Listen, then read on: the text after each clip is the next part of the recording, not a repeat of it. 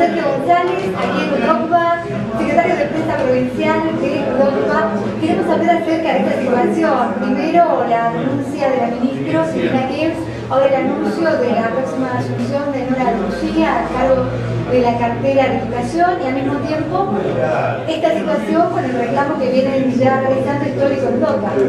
Bueno, sí, eh, nosotros tuvimos una, actuación que tenía que ver con el reclamo que se había hecho con respecto a unas disposiciones que había hecho la ex ministra y que perjudicaban y estaban fuera de la ley, para lo cual, bueno, nosotros eh, intervenimos.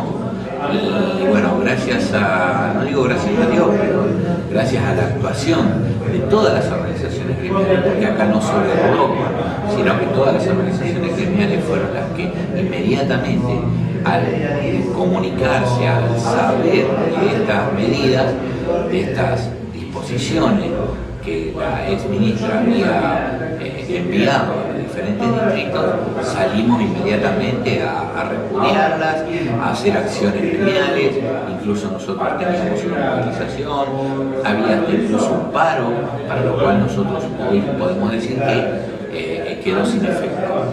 Pero bueno, eh, son cuestiones que tienen que ver con la actividad gremial y que nosotros vamos a continuar no solamente eh, velando por los derechos de los trabajadores, sino además peticionando para mejorar las condiciones laborales. Con respecto a este reclamo que tiene que ver con el reclamo salario ¿están pensando pautar una reunión con la nueva ministra para hablar acerca de esta situación que es docente?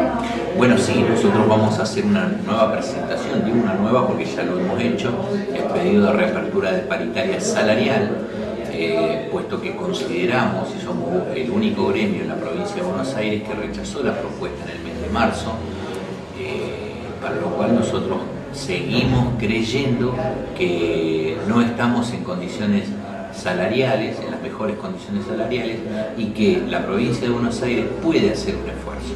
Más allá de la discusión y la pelea que tenga entre la provincia y la nación, nosotros sabemos de los recursos que la provincia tiene para poder mejorar no solamente la cuestión salarial del docente, sino además de, todos los empleados de la provincia de Buenos Aires. Con respecto al tema educativo, se ha lanzado el tema del presentismo con la gestión anterior como una de medidas que se iba a aplicar al docente en las aulas. ¿Cómo observan esta medida? De hecho nosotros eh, consideramos de que hay un estatuto que nos rige, hay un derecho del trabajador para poder faltar, hay un derecho de la Dirección General de Escuelas de poner el suplente y hay un, un, mecanismo para que el chico tenga clase todos los días. Incluso te digo más, eh, durante la semana, si llega a faltar algún docente, hay un mecanismo para el cual de tres a cuatro días puede ser suplantado inmediatamente. Hay una resolución, una disposición que la tiene en mano eh, todas las secretarías de inspección de la provincia de Buenos Aires para lo cual lo pueden utilizar. O sea, se buscan todos los mecanismos necesarios para que las clases continúen. El hecho de que haya un trabajador que se enferme, un trabajador o una trabajadora que, digamos, eh, esté embarazada, tiene todo su derecho a poder tomarse la licencia como corresponde. Está establecido en una ley. Entonces, una disposición no puede estar por encima de la ley. Muchísimas gracias. Gracias a vos. Bueno, eh, me queda una más. Esta es aparte. Eh, anuncios de... Vendeme. De Europa. Esta es para la institucional. Ah, bueno. Vendeme. Ahí va. Vamos, vamos nuevo. Toma dos. González, queremos conocer cuáles son los servicios que brinda a todos sus afiliados Copa, porque conocemos que realmente se ha ampliado la gama con respecto a la oferta para cada afiliado. Bueno, sí, nosotros eh, en primer término te quería comentar de que ya somos más de 65 distritos los que tienen representatividad, los, docentes de UDOCA, y además, bueno, que hemos ampliado el tema de la cantidad de días en el agasajo, tanto para los 25 años como para los jubilados. Eh, se incrementó en tres días en Mar del Plata, cuando antes dábamos dos.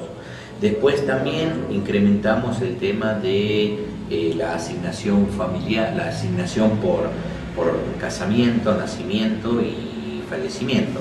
o sea, el de casamiento y nacimiento está en 800 pesos y el de fallecimiento en 1800, con lo cual, bueno, estamos mejorando todos los servicios que tengan que ver con eh, la actividad docente. Además también, bueno, el tema de, todos los años, el tema del concurso de pintura, el tema de, las capacitaciones, de la Secretaría de Capacitación Docente, para lo cual también estamos trabajando.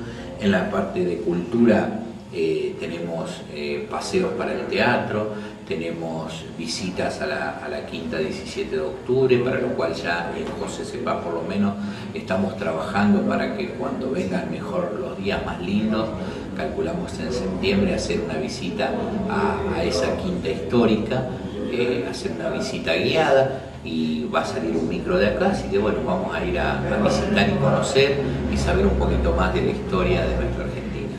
Cuando hablamos de todos estos servicios, ¿cómo podemos hacer para inscribirnos, para anotarnos y luego poder participar de cada uno de ellos?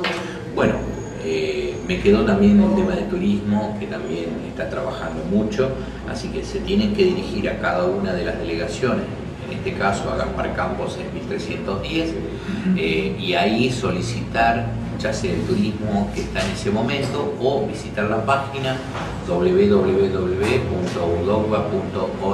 www.udogba.org.ar donde también pueden ingresar a cada uno de los, de los lugares, ya sea turismo, ya sea agremial, eh, por, por alguna inquietud o información, porque como el mundo es tan vertiginoso, muchas veces también tenemos que estar atentos y rápidos porque de un día para el otro cambian las cosas, ¿no? Pero bueno, es así y nosotros sí le pedimos que o visiten la, página nuestra o que se comuniquen a cada una de las delegaciones distritales que tengan eh, más próxima. ¿no? Cuando hablamos de turismo, ¿cuál es la oferta para esta época del año? ¿Y qué están planeando ya para las vacaciones de verano? Porque bueno, no falta mucho, se puede pagar en cuotas, es que ya podemos empezar a armar nuestro paquete de viajes.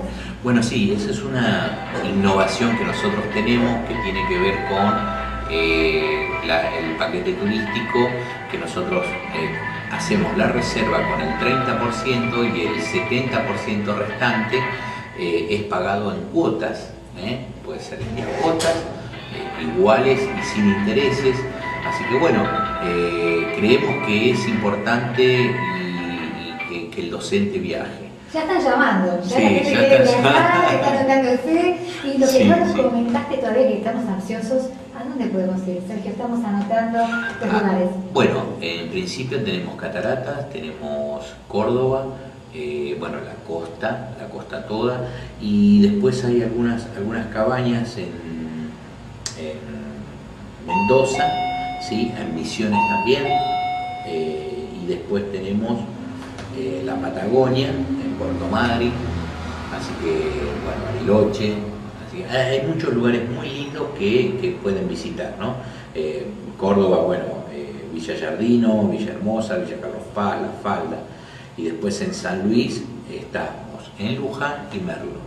Así que hay un montón de lugares muy lindos que pueden visitar, para lo cual ya deberían ir haciendo, no, sé si la reserva porque todavía no tenemos el precio, pero sí eh, hacer la planilla ya para pedirlo al momento que se abra eh, todo este paquete turístico. Muchísimas gracias por esta información. Estamos armando la valija, ya nos vamos de viaje, así que hasta la próxima para conocer mucho más. Bueno, muchísimas gracias.